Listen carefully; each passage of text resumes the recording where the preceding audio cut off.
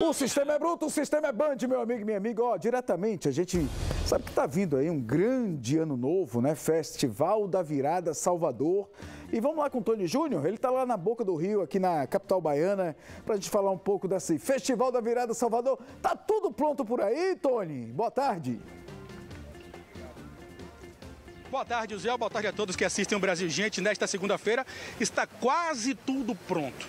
Últimos detalhes aqui Diversos funcionários, diversas secretarias municipais já estão presentes aqui na Arena Daniela Mercury para finalizar esse processo de montagem aqui da Arena na Boca do Rio, bairro aqui da capital baiana. Aqui no fundo, Zé, olha só, imagens do Jeffrey Patrick, o palco do Festival da Virada Salvador. Daqui a pouquinho o prefeito Bruno Reis está aí, né, nos estúdios da Band, mas vem para cá detalhar todos os serviços e bater um papo rapidamente, Zé, porque aqui a gente traz informações.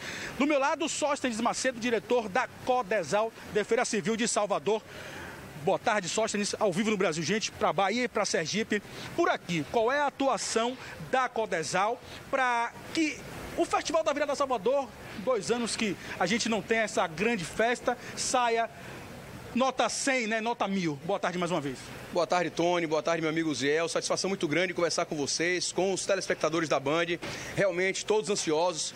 Vai ser o primeiro festival da virada do prefeito Bruno Reis. Ele que tem se preparado e feito aí a cidade cada vez melhor para os soteropolitanos, agora para os soteropolitanos e também para os turistas que possam vir à nossa cidade. A Codesal vem realizando dia muito uma série de vistorias aqui na Arena Daniela Mercury, aqui no Festival Virada Salvador, já identificando possíveis pontos de risco que foram já corrigidos corrigidos é, pelas secretarias e órgãos do Sistema Municipal de Proteção e Defesa Civil, é, pedras soltas que já foram repostas, é, possíveis buracos, enfim, tudo isso para garantir uma festa de muita alegria, de muita animação, mas também de muita segurança. Além disso, é claro, o prefeito Bruno Reis pediu que trouxéssemos inovações para cá e esse ano, além do nosso trailer, além da nossa equipe de campo, além da área que estaríamos aqui atuando e fazendo os registros por parte da Codesal, traremos para cá também algo novo. É, monitoraremos aqui a questão pluviométrica do festival para sabermos quanto à chuva e também traremos uma estação meteorológica móvel. Isso tudo para fazer com que essa festa esteja mais segura e mais bonita. O Zé, por favor. Não, já que ele citou nesse assunto, né? E aí, qual a previsão para o dia, para os dias aí do Festival da Virada? É de muita chuva, de pouca chuva? Como é que tá isso aí? O Zé pergunta, já que você citou sobre a questão da monitoração, monitoramento, perdão, é, das chuvas, como é que vai estar aqui Salvador durante os dias é, da virada, até mesmo a previsão para o dia 31, dia 1 Então, nesses últimos três anos nós vivemos com anos de muitas chuvas. 2020, o ano que mais choveu nos últimos 36 anos.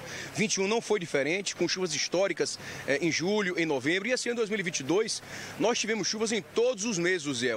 Foi muita chuva o ano inteiro. Então, a Prefeitura de Salvador, seus diversos órgãos, secretários, secretarias, a nossa Defesa Civil, trabalhou duro. O prefeito Bruno Reis, sua equipe, a vice-prefeita Ana Paula Matos, trabalharam duro o ano inteiro. É, esperamos agora, diferente do que vem ocorrendo em todo o Brasil, em Santa Catarina, no Rio de Janeiro e também aqui no interior do estado da Bahia, Salvador, é, nós temos aí uma semana mais tranquila, uma semana é, com o tempo mais estável, com pancada de chuvas, é certo, mas nada fora da nossa realidade, entre 2 e 15 milímetros, nada que estrague a festa. Então eu tenho certeza que nós teremos aqui é, um período festivo de muito amor, muita música e sem chuva. Chuvas agora só de bênçãos. Graças Graças a Deus. Tá aí, vou liberar o Sóstenes, Zé, porque ele está com toda a sua equipe aqui fazendo esse trabalho claro, né?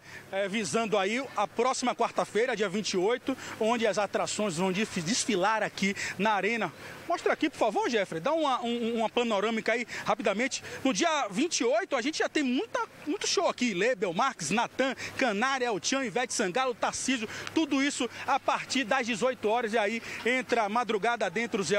Muita música, muita festa oferecida aí pela Prefeitura de Salvador aos soteropolitanos, aos baianos e também ao turista, né, que vem de outros estados e também de outros países passar a festa de final de ano aqui em Salvador. O maior Réveillon do Brasil tá de volta volta! Vem pro Festival Virada Salvador! Cinco dias de festa, mais de 100 horas de música, dois palcos com muita energia e diversão. Tem Ivete Sangalo, Wesley Safadão, Cláudia Leite, Simone Mendes,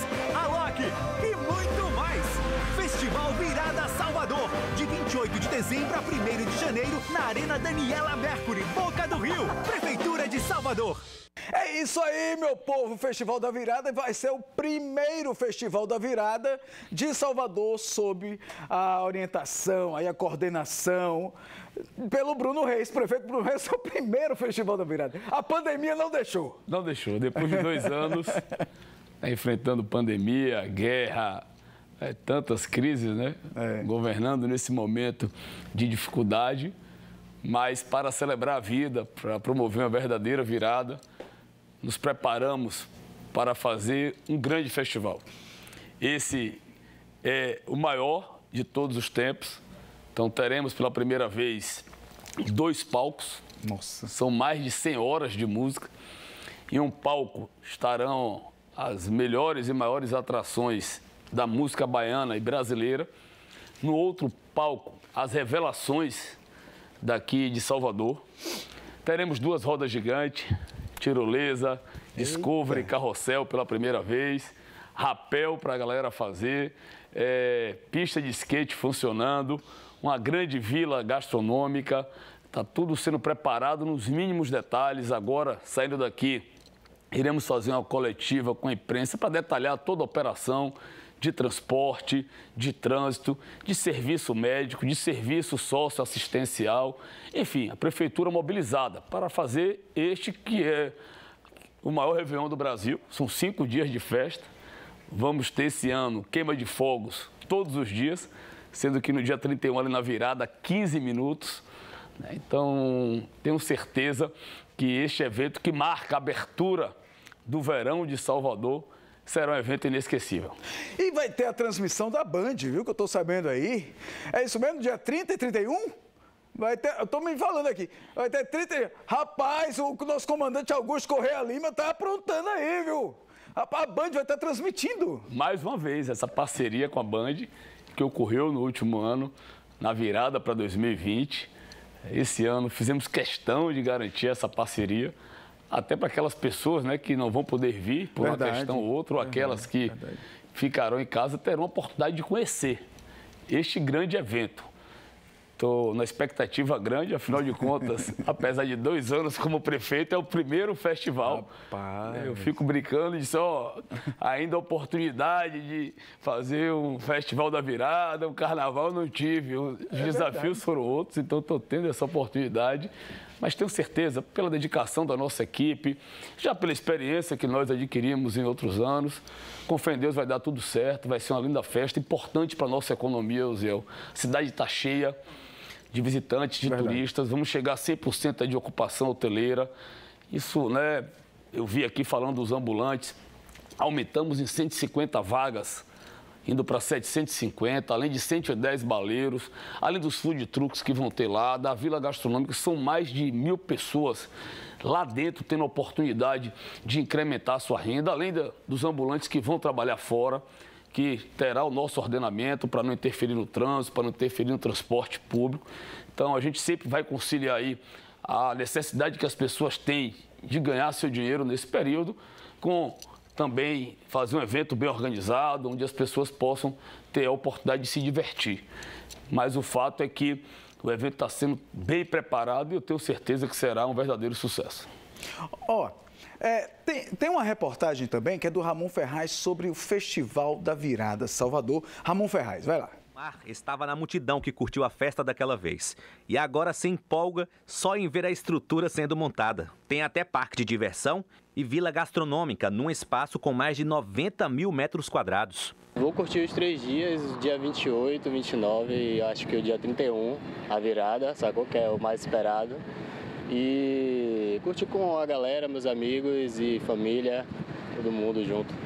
Diferentemente da maioria das festas públicas de Réveillon no país, Salvador tem cinco dias de programação com grandes atrações. Vai de 28 de dezembro a 1 de janeiro. O evento, realizado na Orla da Boca do Rio, virou tradição e deve gerar mais de 400 milhões de reais na economia da cidade. Vital quer aproveitar o embalo para fazer uma graninha extra vendendo geladinho nas proximidades da festa. Vem aqui, vende e ainda curte a festa. Vem aqui, curte a festa ainda, paredão.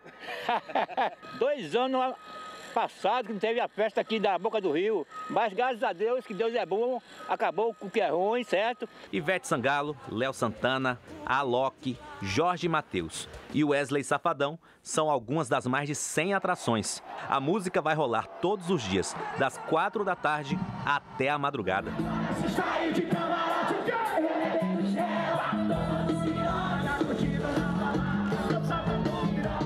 nem todo mundo consegue ficar todos os cinco dias. Então a ideia é a seguinte: o dia é, que as pessoas escolherem para vir para cá, vai ter lá uma queima de fogos, ela vai poder registrar e dizer, poxa, estou passando o Réveillon em Salvador, na primeira capital do Brasil, então a gente vai ter essa celebração especial esse ano, todos os dias, uma virada para que todos possam aproveitar ao máximo aqui o Festival da Virada Salvador. A estimativa é de cerca de 2 milhões de pessoas na soma dos cinco dias de festival. Mais uma vez, a Band vai transmitir ao vivo das 10h30 da noite do dia 31 até as 2 da manhã. Cláudia Leite vai comandar o show na virada do ano. Com muito carinho, aquele carinho assim de junto um do outro. Vai ser massa ver todo mundo suando, feliz, sorrindo. E eu vou estar lá, se Deus quiser, pronta para servir todo mundo com meu astral. Um beijo. Feliz 2023!